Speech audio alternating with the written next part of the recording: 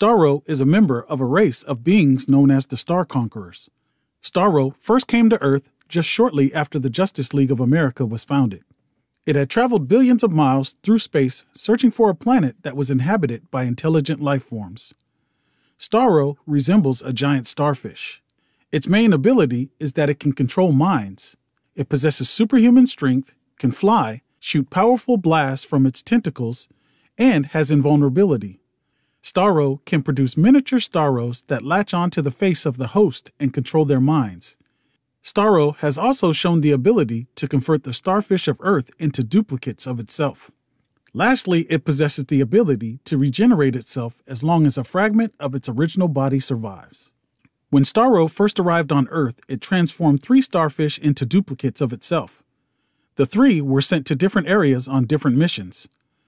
Aquaman was informed of the plan by another aquatic creature and informed the Justice League. Green Lantern defeated one clone, Wonder Woman and the Martian Manhunter a second.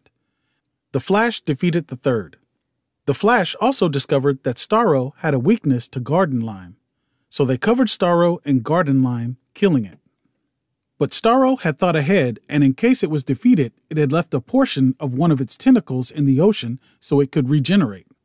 Starro again encountered the Justice League of America after it had regenerated itself and created an enormous amount of miniature Starros that attached to the citizens of New York. Starro was also able to control a portion of the Justice League.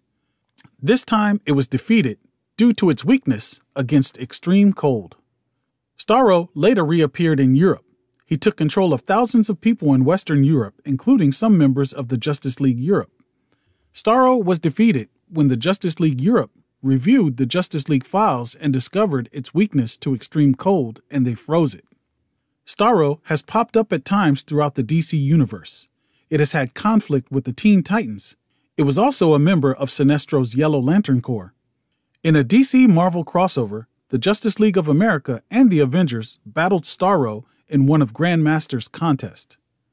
In Injustice 2, Starro appeared as a member of the Red Lantern Corps. Now, what's crazy is the Justice League America kept a small sample of one of the Starro clones to study after they defeated Starro. It was placed in a jar and, with its regenerative powers, regrew. They named it Jarro. It was close to Batman and it even called him Dad. Jarro even had dreams of becoming Robin. Over time, as comics tend to do, Starro's origin and appearance have been altered.